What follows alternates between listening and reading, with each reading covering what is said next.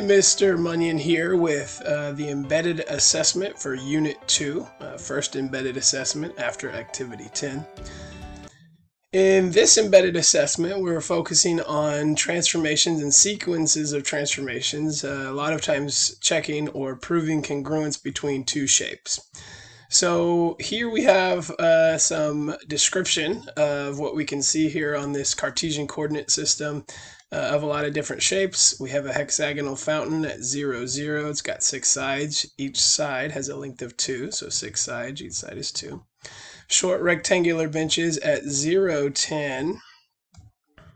Whoops, short at 0, 10 and longer and negative 10 and longer rectangular benches at 10 0 looks like we have those there and negative 10 0 length of 8 these were length of 4 we also have a triangular statue with vertices of 5, 10, 7, 10, and what was the other one? 7, 7. Yep, so it looks like we've got that on there. Flagpoles are shown at negative 2, 10. So yeah, this little bench here does have a flagpole. And two negative 10, there's also a flagpole down here. All right.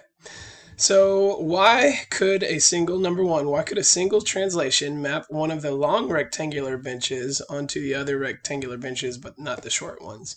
So why could there be one transformation uh, that maps this long bench onto the other one, but not onto the short ones? Uh, well, the easy answer is uh, because the shapes are congruent, and therefore a sequence of rigid transformations will map one shape onto the other one. Uh, whereas uh, one of the long benches onto the other one. Whereas these are not rigid, no matter what we did out of the rigid transformations, the only way that we would be able to map is if we did a dilation and changed the size of this. Um, which a dilation is not a rigid transformation. So uh, that being said, let's summarize that. All right, so uh, we could definitely just uh, do a translation to the right 20 units to map this one here. But there's no way we could map the long bench onto the short bench unless we did a dilation. Um, horizontally to shrink it horizontally. So yeah, there is a, a set of rigid transformations that we could do for the uh, long one. Just translate to the right uh, 20 units. But there's not a set of rigid transformations we could use for the other one. So for the long benches, just do a translation uh, 20 units to the right. Uh, and there's not a set of rigid transformations to map the long bench onto the short one. For question number two, describe a rigid motion or composition that uh, maps the rectangular bench at 0, 10 and the flagpole uh, onto the other short rectangular bench and flagpole. So on this one, it has also the flagpole, and it's asking how could we map this short bench and flagpole here. You can't just translate down um, because the flagpole wouldn't end up in the right spot. However, there is uh, one thing I can do. I noticed that the center is 10 units away. The flagpole's on the left side. If I was to rotate this around, the flagpole would be on the bottom, and then it'd be on the right side, and the center would be 10 units away. So I can actually rotate this 180 degrees about the origin is probably the easiest way to do that. Now, could you also just rotate it about the point 010 so it stays in the same spot, but, but the flagpole's on the right side and then translate down?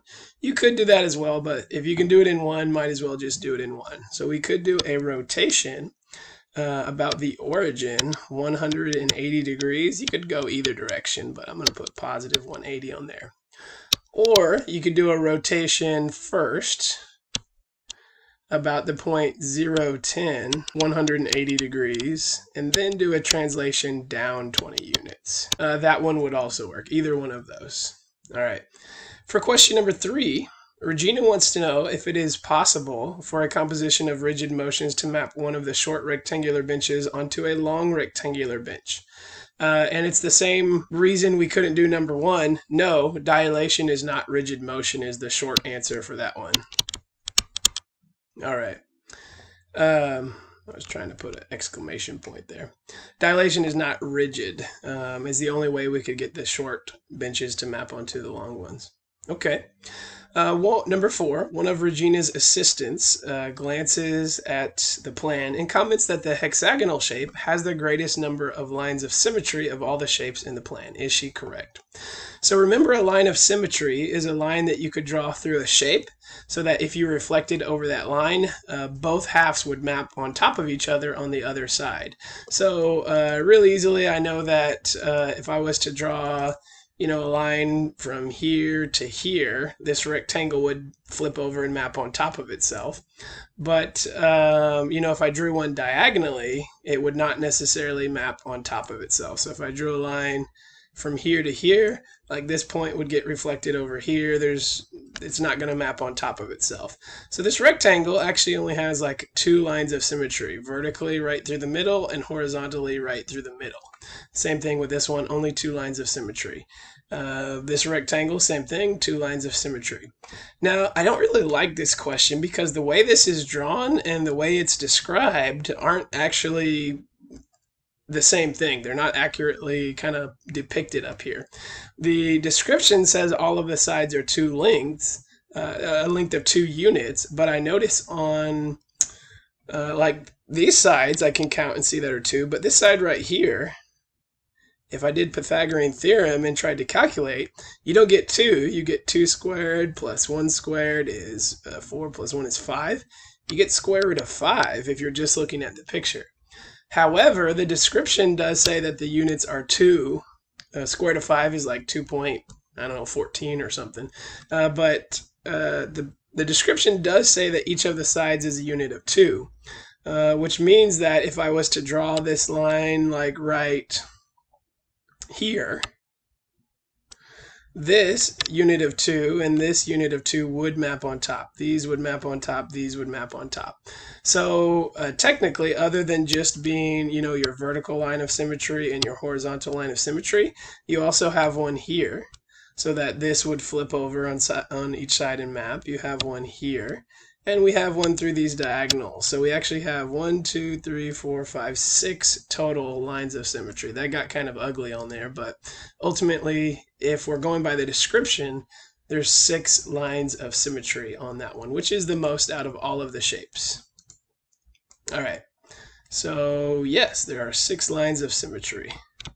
Number five, a landscape architect recommends installing a triangular statue with vertices at 10, negative 10, 10, negative 8, and 7, negative 10.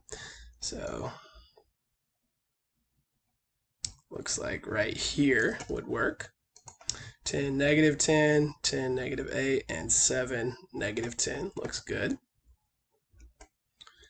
Uh, is this triangle congruent to triangle T? Justify our answer. So uh, I feel very confident it is. Just by looking at it, it has a side of 2, 3, and it's a right triangle. This has a side of 2 and 3. So whatever the hypotenuse is, that would be the same for both of these. Uh, but I could do rigid transformations pretty easily to figure this out. So uh, if I wanted the short side on the right and the longer leg on the bottom, I could just rotate about the origin 90 degrees and then translate down uh, from there to be able to map it on top of each other. So there is a easy, a pretty easy set of rigid transformations that I can do there. There we go. So uh, rotate 90 degree, negative 90 degrees to get it into that fourth quadrant. And then translate what looks to be one, two, three units down is what we could do for that one. So are they congruent? Yes.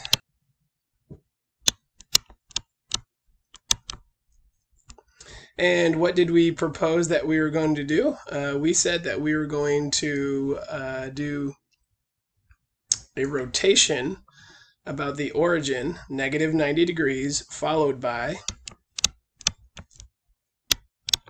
translation down three units.